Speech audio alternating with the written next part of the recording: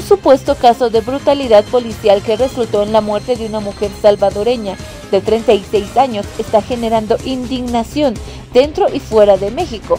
La Fiscalía del Estado de Quintana Roo abrió una investigación por homicidio tras la muerte de Victoria Salazar, tras ser sometida por la policía en las calles de Tulum, un popular centro de vacaciones en el Caribe mexicano.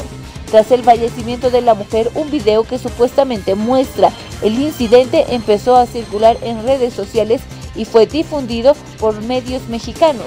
En las imágenes se ve a la víctima forzada a permanecer boca abajo contra el suelo, esposada, mientras una mujer policía apoya la rodilla contra su espalda, bajo la mirada de otros tres uniformados.